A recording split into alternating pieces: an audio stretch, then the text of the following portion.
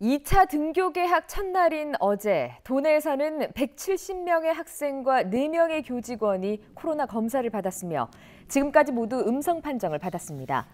춘천에서는 한 초등학교 통학버스 도우미가 안양 확진자와 같은 시내버스에 탑승해서 코로나 검사를 받았고 음성이 나왔지만 학교 내부 방역으로 오늘 하루 원격 수업이 진행됐습니다.